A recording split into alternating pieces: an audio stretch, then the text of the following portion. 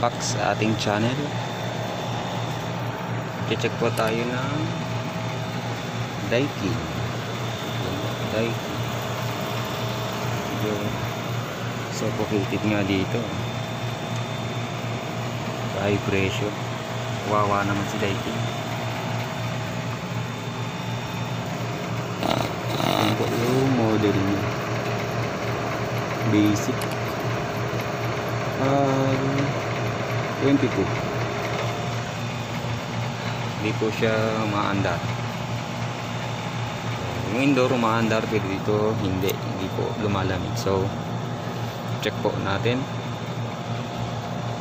So history nito kinarga namin to nung nakaraan. Medyo matagal-tagal na rin. Pag nawala tong Prion, yung R22, may possible leak pa sa system. So ngayon di po umaandar. So tingnan po natin.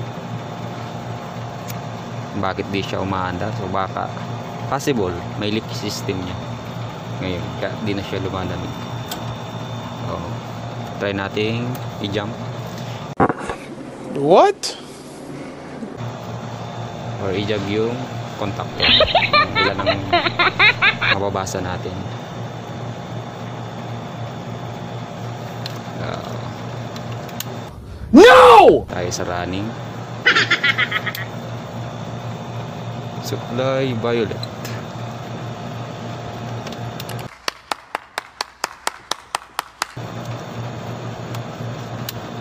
okay uh, pilit yeah. paskip na dito Ano mo ginagawa mo? Bumalaw. Maraming tambak.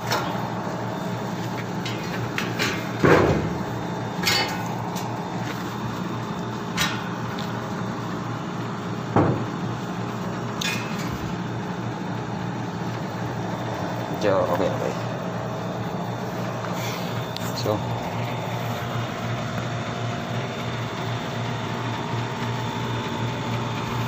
tingnan natin kung kasi wala akong dalang gauge eh. so for check up lang ako ngayon. So saglitan ko daw. Check natin kung tama yung amperahe.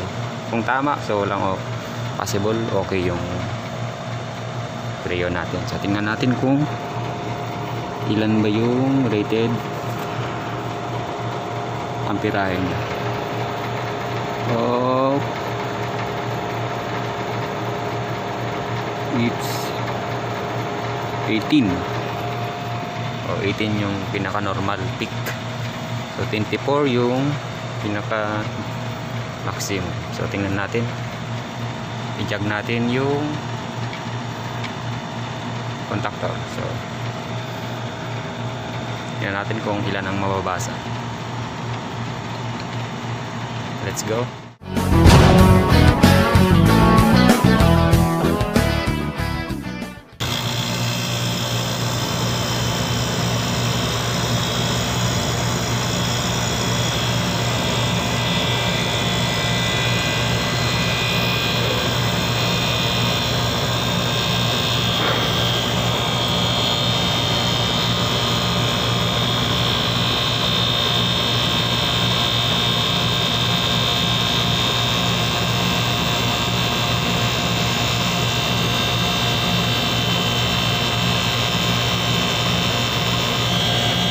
Okay, mandar yung compressor natin.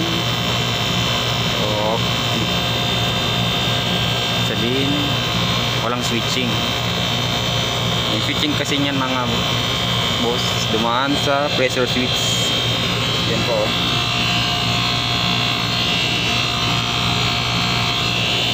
Pressure switch. Yun. Hindi mag-hold yung contactor natin kasi may line line yun yan galing sa indoor. Hindi nagsiswitch kasi duman siya ng contact uh, duman siya ng pressure switch. Mababa yung karga natin possible. Makakontrol natin yan kung may gauge tayo. Kaya lang wala eh. For the meantime ito muna tayo. Pakita din natin yan dito. Nag-i-yellow dyan. Yan. Nag-i-yellow na. Mag-yellow.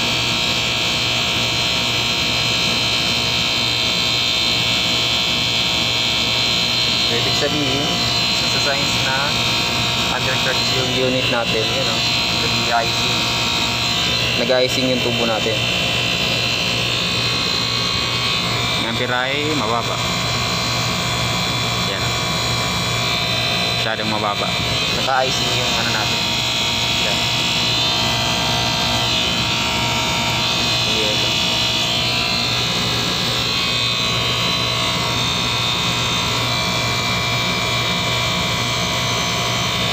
Yun.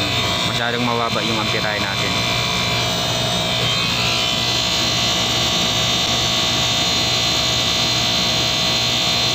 O recommend ko sa customer for pre-process.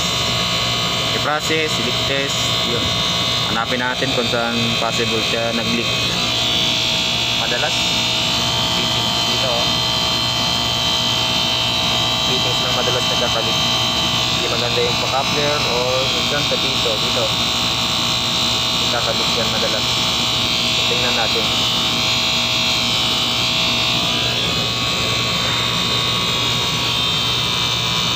Yan, mababa. Normal running ano niya is 18. 18. 18, 19. Ganyan. Masyado siyang mababa. Yan. Icing yung suction line natin. Yan ang accumulator. Nag-icing. Yan po.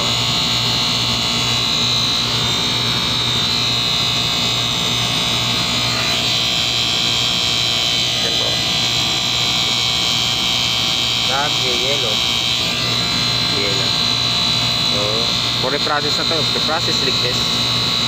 Hanapin natin kung saan ang may lupa. Saan siya nag possible dito sa mga fitting. Sa pito, dito. O kaya mga hininangan. Possible din doon. Kung may hininangan to. Hanapin natin.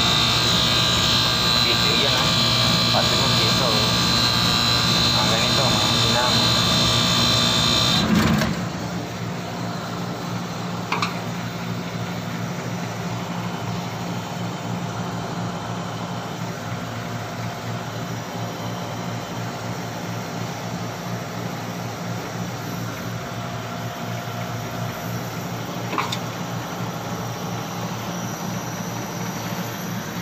Yan po.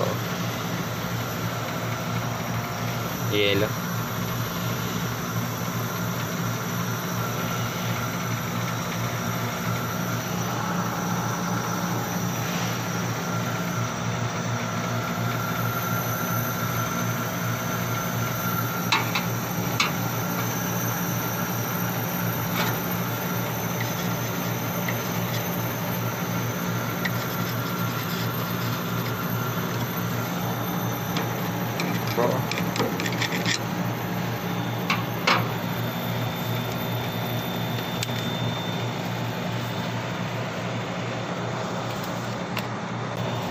So, yun lang.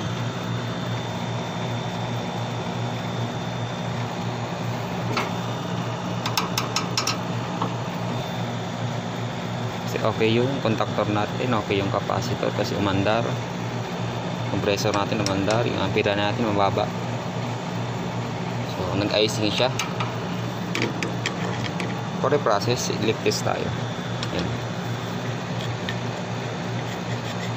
Yan. Icing.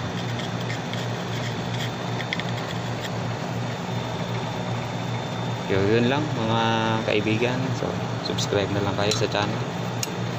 So, nagustuhan niyo po yung ating video. So, thank you po. Thank you.